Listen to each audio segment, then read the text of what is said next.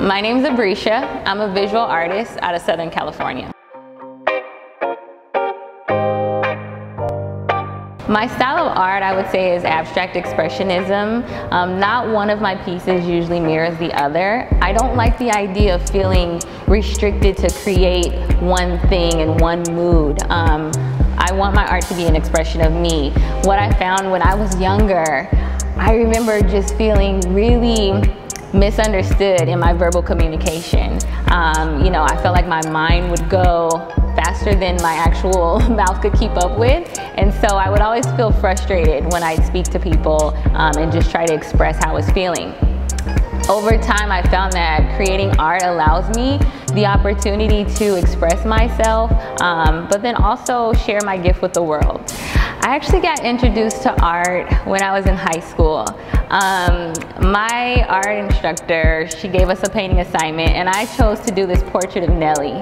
And when I completed the assignment, she was blown away and she goes, you know, you're a natural painter. For me, I didn't know what that meant, but what I realized later is that I had this gift for blending and utilizing brush to kind of create um, these unique color and contrast.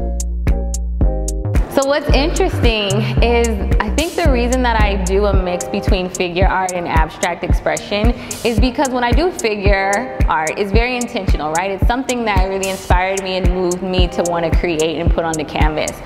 But I don't like feeling stuck in a box. So when I do my abstract art, it literally allows me to just have no intention. There's no rules. It's so hard to go intentionally to, to an abstract piece because it's gonna become what, what it becomes.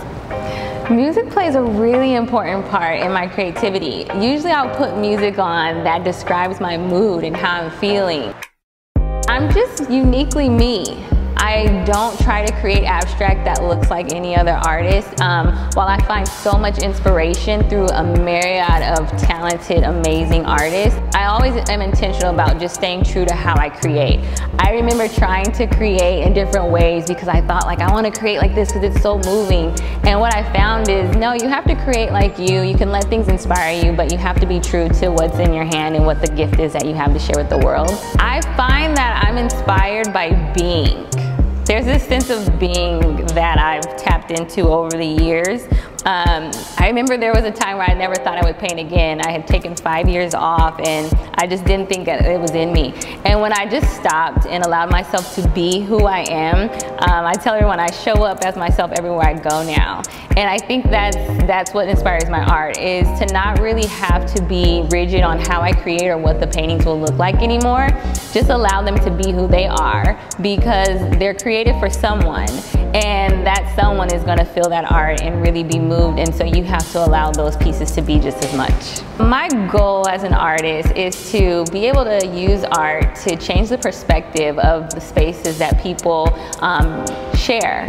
I want my art to bring new energies, new light, um, and really self-love. I think that's one of the biggest things that I've gone through on this journey, and I really just intend for that to be something that people can remember me by of how the art made them feel, um, and really the positive message that comes with it, whether it's overcoming triumph um, or just really loving yourself and recognizing the energy and the power that you are.